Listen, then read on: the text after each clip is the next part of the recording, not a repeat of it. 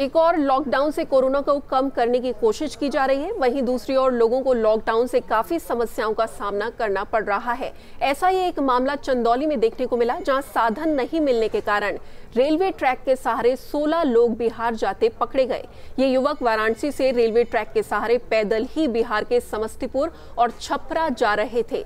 युवकों के मुताबिक वो केरल से झांसी ट्रेन से पहुँचे थे, लेकिन लॉकडाउन होने के बाद झांसी से बाई रोड वाराणसी पहुँचे थे। फ़िलहाल पुलिस ने सभी लोगों का मेडिकल चेकअप कराया है और उनके खाने पीने की व्यवस्था की है। साथ ही इन युवकों को उनके गंतव्य तक भेजने के लिए पुलिस कार्रवाई में जुट गई है। बनारस बनारस आने के बाद जो है सर, हम जो है अपने गाँव वाला रास्ता पकड़ लिए। मतलब रेलवे की पट्टी जो है, वो पकड़ के हम गाँव जा रहे थे। हम वो रास्ते में हम जो है कि हमको जो है पुलिस सहायता दिया, हमको नाश्ता पानी किया है और खानों को बंदोबस्त किया है।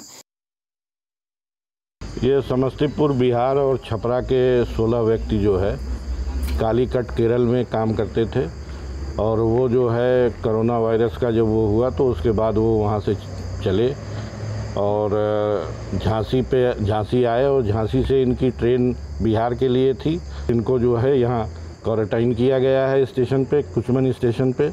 इनकी मेडिकल जाँच कराई जा रही है। इनको खाना वाना खिलाने के उपरांत गाड़ी की व्यवस्था कर इनको इनके घर पहुँचाए जाने की व्यवस्था की जा रही है।